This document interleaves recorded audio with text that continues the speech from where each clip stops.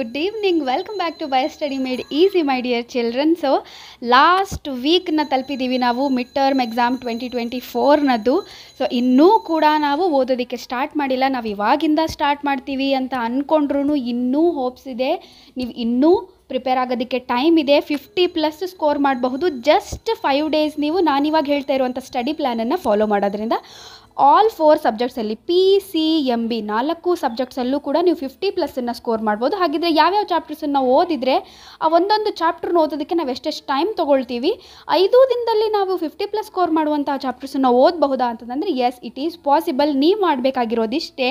So ಪ್ರತಿ ದಿನಕ್ಕೆ, ಒಂದು ದಿನಕ್ಕೆ ನೀವು ಟೆನ್ ಅವರ್ಸ್ ಸ್ಟಡಿ ಮಾಡಿದ್ರಿ ಅಂತಂದರೆ, ಆರಾಮಾಗಿ ನಾನಿವಾಗ ಹೇಳ್ತಾ ಇರುವಂತಹ ಫಿಫ್ಟಿ ಪ್ಲಸ್ ಸ್ಕೋರ್ ಮಾಡೋದಕ್ಕೆ ಏನೇನು ಚಾಪ್ಟರ್ಸ್ ಹೇಳ್ತೀನಿ, ಅದನ್ನೆಲ್ಲ ನೀವು ಕವರ್ ಮಾಡಬಹುದು. ನಾನು ನಿಮಗೆ ನ್ಯೂಮರಿಕಲ್ಸು ಡಯಾಗ್ರಾಮ್ಸು ಅದನ್ನೆಲ್ಲ ಪ್ರಾಕ್ಟೀಸ್ ಮಾಡೋದಕ್ಕೂ ಇದರಲ್ಲಿ ಎಷ್ಟೆಷ್ಟು ಟೈಮ್ ಕೊಡಬೇಕು ಅಂತ ಅನ್ನುವಂಥದ್ದನ್ನು ನಾನು ನಿಮಗೆ ಹೇಳ್ತಾ ಇದ್ದೀನಿ. ಕಂಪ್ಲೀಟಾಗಿ ನಿಮಗೆ ಫೈವ್ ಡೇಸ್ ಸೊ ಒನ್ ಡೇಗೆ ಟೆನ್ ಅವರ್ ಅಂತಂದರೆ ಫೈವ್ ಡೇಸಿಗೆ ಎಷ್ಟಾಯಿತು ರೀ? ಫಿಫ್ಟಿ ಅವರ್ಸ್ ಆಯಿತು. ಸೊ ಈ ಫಿಫ್ಟಿ ಅವರ್ಸ್ ನೀವು ಡೆಡಿಕೇಟೆಡ್ ಆಗಿ ಹಾನೆಸ್ಟ್ ಆಗಿ ಸಿನ್ಸಿಯರ್ ಆಗಿ ಸ್ಟಡಿ ಮಾಡಿದ್ರಿ ಅಂತಂದರೆ ಖಂಡಿತ ನೀವು ಫಿಫ್ಟಿ ಪ್ಲಸ್ ಸ್ಕೋರ್ ಮಾಡಬಹುದು.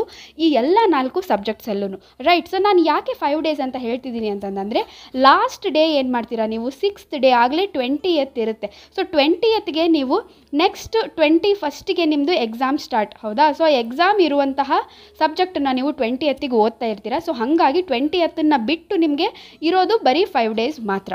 ಓಕೆ ಸೊ ನನಗೆ ಕಮೆಂಟ್ ಮಾಡಿ ತಿಳಿಸಿ ನೀವು ಫಿಫ್ಟಿ ಅವರ್ಸ್ನ ಚಾಲೆಂಜನ್ನ ಎಷ್ಟು ಜನ ತೊಗೊಳೋದಕ್ಕೆ ರೆಡಿ ಇದ್ದೀರಾ ಅಂತ ಹೇಳಿ ಫಿಕ್ಸನ್ನ ನೋಡ್ತಾ ಹೋಗೋಣ ಇವಾಗ. ಸೊ ಅದು ಯಾವ್ದ್ಯಾವುದು ಚಾಪ್ಟರ್ಸ್ ಅಂತಂದರೆ chapter number one chapter number two and chapter number three okay so chapter number one ಆ ಚಾಪ್ಟರ್ನ ಓದೋದಕ್ಕೆ ನಿಮಗೊಂದು ಫೋರ್ ಅವರ್ಸ್ ನೀವು ತೊಗೊಳ್ಬೋದು.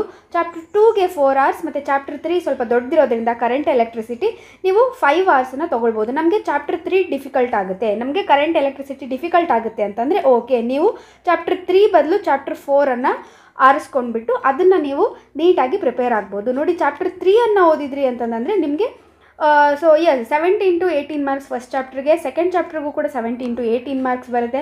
ಆ್ಯಂಡ್ ಚಾಪ್ಟರ್ ತ್ರೀ ಕರೆಂಟ್ ಎಲೆಕ್ಟ್ರಿಸಿಟಿಗೆ ಟ್ವೆಂಟಿಯಿಂದ ಟ್ವೆಂಟಿ ಫೋರ್ ಮಾರ್ಕ್ಸ್ವರೆಗೂ ಬರುತ್ತೆ. ಸೊ ಮಿನಿಮಮ್ ಹಿಡಿದ್ರೂ ಫಿಫ್ಟಿ ಫೋರ್ ಅಂತಂದರೆ ಫಿಫ್ಟಿ ಪ್ಲಸ್ ಮಾರ್ಕ್ಸ್ ನೀವು ಈ ಮೂರು ಚಾಪ್ಟರ್ನ ಓದೋದ್ರಿಂದ ಬರುತ್ತೆ. ಬಟ್ ಜೊತೆಗೆ ನೀವು ಡೆರಿವೇಷನ್ಸ್ ಮತ್ತು ನ್ಯೂಮರಿಕಲ್ಸನ್ನು ಪ್ರಾಕ್ಟೀಸ್ ಮಾಡಬೇಕಾಗತ್ತೆ. ಸೊ ಡೆರಿವೇಷನ್ಗೆ ಒನ್ ಅವರು ನ್ಯೂಮರಿಕಲ್ಸ್ಗೆ ಒನ್ ಅವರ್ ಕೊಟ್ವಿ ಅಂತಂದರೆ ಸೊ ಟೋಟಲ್ ಆಗಿ ನಮಗೆ ಫಿಫ್ಟೀನ್ ಅವರ್ಸಲ್ಲಿ ಈ ತ್ರೀ ಚಾಪ್ಟರ್ಸ್ ಫಿಫ್ಟಿ ಪ್ಲಸ್ ಕೊಡುವಂತಹ ತ್ರೀ ಚಾಪ್ಟರ್ಸ್ನ ನಾವು ಕಂಪ್ಲೀಟಾಗಿ ಫಿನಿಶ್ ಮಾಡ್ತೀವಿ.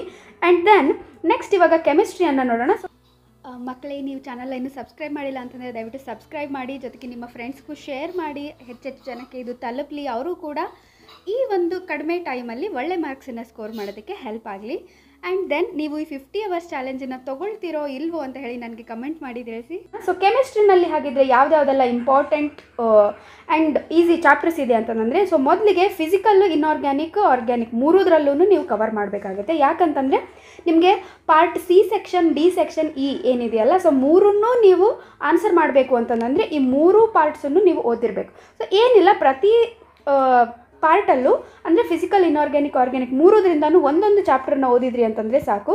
ಸೊ ಮೊದಲನೇ ಚಾಪ್ಟರ್ ಯಾವುದು ಅಂತಂದರೆ ಸಲ್ಯೂಷನ್ ಫಿಸಿಕಲಿಂದ ಸಲ್ಯೂಷನ್ ಚಾಪ್ಟರ್ನ ಓದಿ, ಯಾಕಂದರೆ ಟೆಸ್ಟಿಗೆ ಹೇಗೂ ಓದಿರ್ತೀರಾ? ಸೊ ಈಸಿಯಾಗಿ ಕವರ್ ಆಗಿ ಹೋಗ್ಬಿಡುತ್ತೆ. ಆ್ಯಂಡ್ ಇನ್ಆರ್ಗ್ಯಾನಿಕ್ಕಿಂದ ಡಿ ಆ್ಯಂಡ್ ಎಫ್ ಬ್ಲಾಕನ್ನು ಕೊಟ್ಟಿದ್ದಾರೆ. ಆ್ಯಂಡ್ ಆರ್ಗ್ಯಾನಿಕ್ಕಲ್ಲಿ ನಮಗೆ ಈಸಿಯಾಗಿರುವಂಥದ್ದು ಯಾವುದು ಅಂತಂದರೆ ಹ್ಯಾಲೋ ಆಲ್ಕಿನ್ಸ್ ಮತ್ತು ಹ್ಯಾಲೋ ಅರಿನ್ಸ್ ಈಸಿಯಾಗಿದೆ ಚಾಪ್ಟರ್ ಹೌದಾ?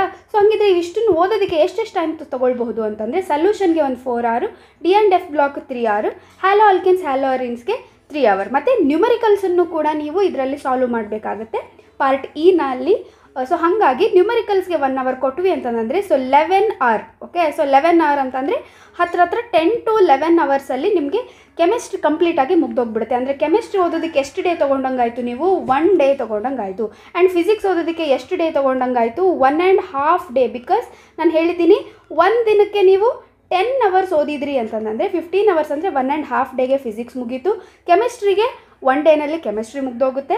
And then next biology so ಬಯಾಲಜಿನಲ್ಲಿ important chapters ಯಾವುದಿದೆ?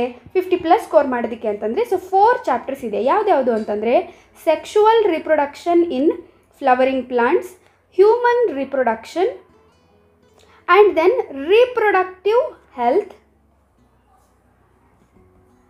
and then principles of inheritance and variation so ಈ ನಾಲ್ಕು ಚಾಪ್ಟರ್ಸನ್ನು ನೀವು ಓದಿದ್ರಿ ಅಂತಂದರೆ ನಿಮಗೆ ಫಿಫ್ಟಿ ಪ್ಲಸ್ ಮಾರ್ಕ್ಸ್ ಸಿಗುವಂಥದ್ದಾಗಿದೆ ಸೊ ಓದೋದಕ್ಕೆ ಎಷ್ಟೆಷ್ಟು ಟೈಮ್ ತೊಗೊಳ್ಬೋದು ಅಂತಂದರೆ ನಿಮ್ಗೆ ಈಗಾಗಲೇ ಗೊತ್ತಿರೋ ಹಾಗೆ ಆಲ್ಮೋಸ್ಟ್ ಈ ಮೂರು ಚಾಪ್ಟರ್ಸ್ ಎಲ್ಲರಿಗೂ ಟೆಸ್ಟ್ ಒನ್ನಿಗಿತ್ತು ಸೊ ಹಾಗಾಗಿ ಆಗಲೇ ಇದನ್ನೆಲ್ಲ ಒಂದು ಸರ್ತಿ ಓದಿರ್ತೀರ? ಸ್ವಲ್ಪ ಡೈಗ್ರಾಮ್ ನೋಡ್ಕೊಂಡಿರ್ತೀರ? ಫೈನ್ ಸೊ ಹಾಗಾಗಿ ಇದಕ್ಕೇನು ಜಾಸ್ತಿ ಟೈಮ್ ತೊಗೊಳ್ಳೋದಿಲ್ಲ ಆದರೂ ನಾವು ಇದನ್ನು ಫಸ್ಟಿಂದ ನೀಟಾಗಿ ಓದ್ತೀವಿ ಅಂತಂದರೆ ಸೊ ಫಸ್ಟ್ ಚಾಪ್ಟರ್ಗೆ ತ್ರೀ ಅವರ್ಸು ಹ್ಯೂಮನ್ ರಿಪ್ರೊಡಕ್ಷನ್ಗೆ ಒಂದು ತ್ರೀ ಅವರ್ಸು ರಿಪ್ರೊಡಕ್ಟಿವ್ ಹೆಲ್ತ್ ತುಂಬ ದೊಡ್ಡದೇನಿಲ್ಲ ಸೊ ಟೂ ಅವರ್ಸಲ್ಲಿ ಮುಗ್ದು ಹೋಗುತ್ತೆ. And principles of inheritance and ವೇರಿಯೇಷನ್ಗೆ four ಅವರ್ಸಲ್ಲಿ ಮುಗ್ದು ಹೋಗುತ್ತೆ ಓಕೆ ಆ್ಯಂಡ್ ದೆನ್ ಇದರಲ್ಲಿ ಡಯಾಗ್ರಾಮ್ಸ್ ಬಯಾಲಜಿನಲ್ಲಿ ಡಯಾಗ್ರಾಮ್ಸ್ ತುಂಬ ಇಂಪಾರ್ಟೆಂಟ್ ಸೊ ಡಯಾಗ್ರಾಮ್ಸಿಗೆ ನೀವು ಒನ್ ಅವರ್ ಕೊಟ್ಟರು ಕೂಡ ಸೊ ಸೆಕೆಂಡ್ ಪಿ ಯು ಡಯಾಗ್ರಾಮ್ಸ್ದು ನಾನು ಇನ್ನೂ ಅಪ್ಲೋಡ್ ಮಾಡಿಲ್ಲ.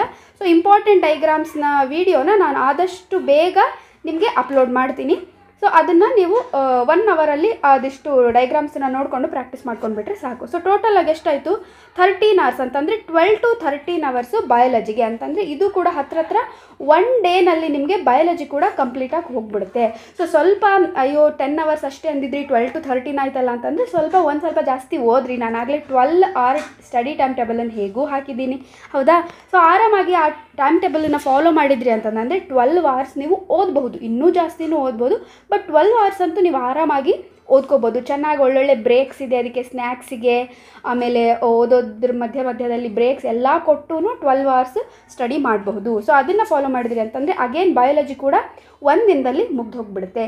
ಇನ್ನು ಲಾಸ್ಟ್ ಉಳಿದಿರುವಂಥದ್ದು ಮ್ಯಾಥಮೆಟಿಕ್ಸ್ ಸೊ ಮ್ಯಾಥಮೆಟಿಕ್ಸಲ್ಲಿ ಹಾಗಿದ್ರೆ ಯಾವ್ದಾವ್ದು ಇಂಪಾರ್ಟೆಂಟ್ ಚಾಪ್ಟರ್ಸ್ ಇದೆ ಅಂತ ನೋಡೋದಾದರೆ ಸೊ ನೋಡಿ ನಾನು ಏನು ಹೇಳಿದ್ದೆ ನಿಮಗೆ?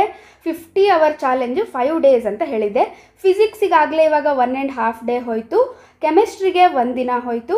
ಬಯಾಲಜಿಗೆ ದಿನ ಹೋಯಿತು. ಓಕೆ ಸೊ ನಮ್ಗೆ ಇನ್ನುಳಿದಿರುವಂಥದ್ದು ಒನ್ ಆ್ಯಂಡ್ ಹಾಫ್ ಡೇ ಮಾತ್ರ. ಸೊ ಈ ಒನ್ ಆ್ಯಂಡ್ ಹಾಫ್ ಡೇನಲ್ಲಿ ನಾವು ಮ್ಯಾಥಮೆಟಿಕ್ಸನ್ನು ಮುಗಿಸ್ಬೇಕು.